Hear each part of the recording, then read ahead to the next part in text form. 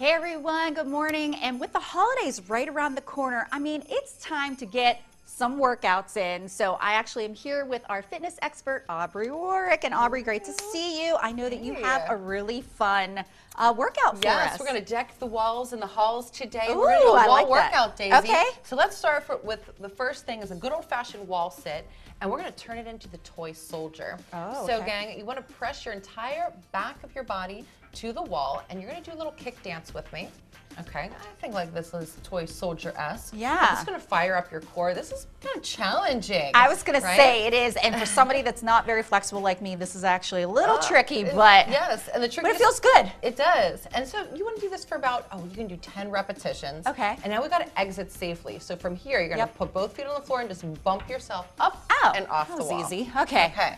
Now we're going to move into some balancing and stretching where you're going to use the wall to help you. And we're going to give a little nod to our Christmas tree today. So we're going to do Oh, a okay. tree pose from uh-huh. yoga. We're going to take our outside arm out and up towards the wall, stretching out those intercostal spaces. Oh, that feels great. It Yeah. feels. Let's take it to the other side. Okay. And then Daisy, if you want to take that little kickstand on the floor, challenge your balance more. Just start to drag your heel up to your calf or maybe your inner thigh. And this one again, you Oh, can pick okay. a number, let's say 10, and do five repetitions each side to improve balance, boost your mood and breath. And it does feel so good. I was going to say, and it's a nice, safe way to give you some confidence Yes. to be able to do that tree pose. It really is. It really is. Okay. Okay. so the next one is for anger management. All right. And this is just some wall pushing. So let's say you're you're stressed out from the holidays. You're gonna start to push into the wall, round your back like an angry cat, and then you can alternate just taking one foot in front. And really, it's surprising that how much energy you can get out through like these wall pushes. Oh yeah, this feels great. oh, I can't believe I burned that casserole. Oh, exactly. I can't believe I ate all the Christmas cookies. oh my gosh.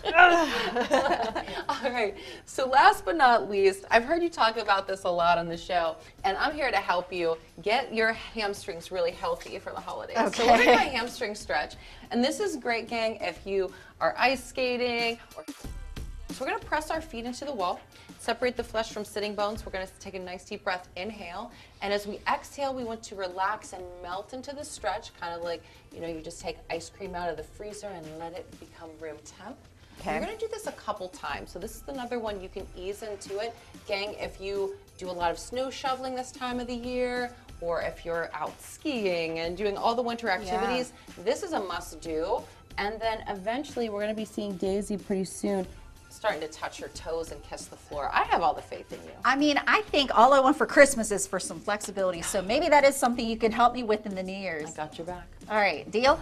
Okay, sounds good. well, happy holidays, guys. I hope you enjoy all these simple exercises that you can simply use with your wall. Deck the walls. See you guys.